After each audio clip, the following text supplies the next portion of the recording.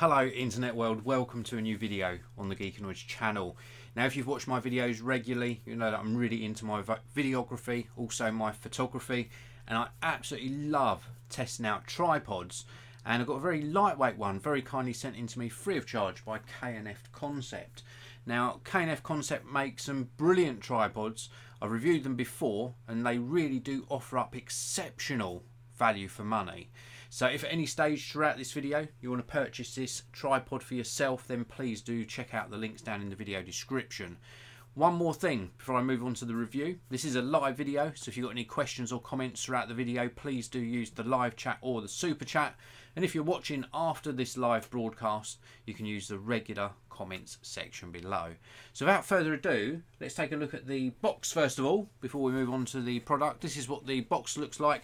This is the uh, B210 carbon fibre tripod. Uh, very simple box, nothing fancy about it. That means all of the money's gone into, or the majority of the money has gone into the product. We do get a little zipped carry case with this to store the tripod. And you'll notice that this carry case is very small.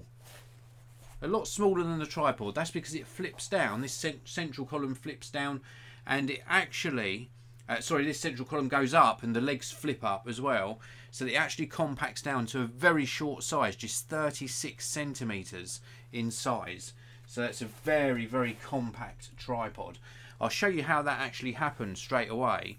So what you would do to actually pack this into the bag is you put the central column all the way up, sort of counterintuitive because it looks like you're making this bigger, and then you actually pull the uh, catch out here and you're going to fold up all three legs into this position. That's what gets you your 36 centimeter uh, compact length.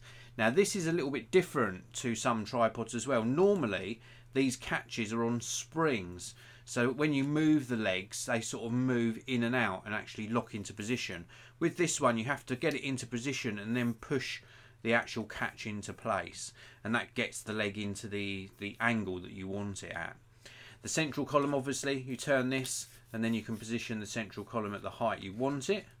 And then this is a five section tripod, carbon fibre throughout, so you can turn these and actually extend or uh, contract the legs appropriately. Let's just do, do this. It's a little bit stiff because it's new. There we go. So you can actually put the legs in and out and set them to the appropriate uh, sort of length. So very, very nice. It is quite stiff though because it is new let's just pop that back up and then you can lock all these back down. It's very very easy to extend all of these out because you can just loosen them all extend it out to full extension lock them all down and you get your, your the maximum height. So very very nice construction here.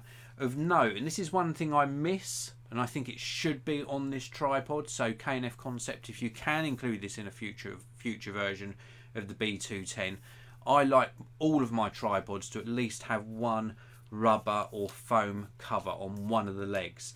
This is quite slippery and it just makes it a lot easier to carry. So I would have liked to have seen that. But as it stands, it's still very light tripod and very versatile. So let's take a look at the, the head portion here. On the head we have got a little bubble level on the top so we can get things nice and level.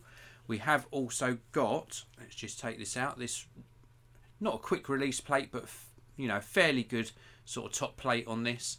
So we can take this out and mount the camera on the top.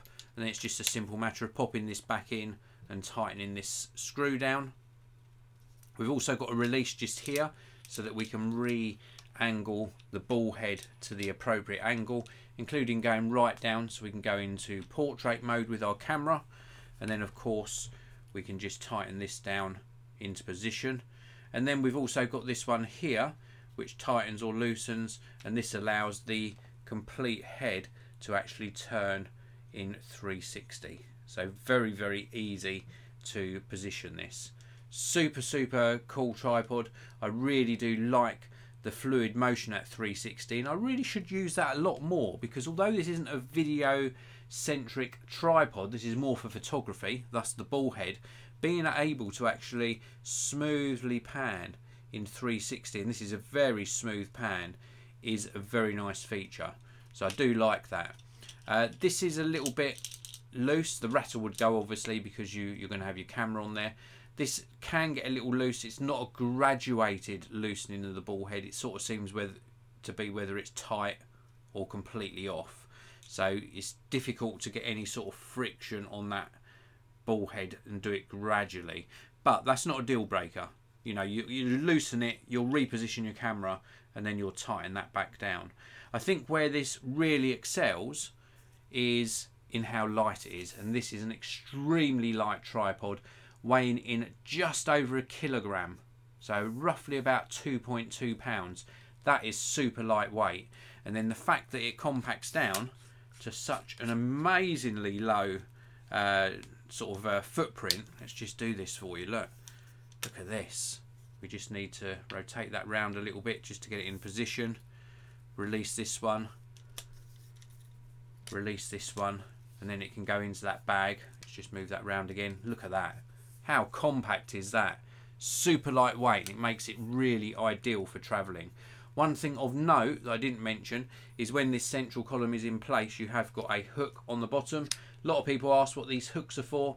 You can use them for hanging your bag on, but really they are for giving the tripod extra weight in that central location. So it really uh, makes it a much more stable platform. So if you're on a surface where you need to weigh your camera down and make the tripod a bit heavier, you can put a little bag of uh, stones on the bottom. What I normally do is if I've got my camera bag, I just hang my camera bag on there and it gives the whole tripod a bit more stability.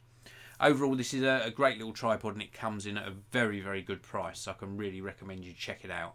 There are links down in the video description to where you can pick this up for yourself. Please do check out the link down there to the K&F Concept website as well. And if you enjoyed the video, don't forget to hit that like button. That's it for this video. Thanks for watching everyone please subscribe. I publish new tech videos pretty much every single day, and I'll see you in another one very, very soon.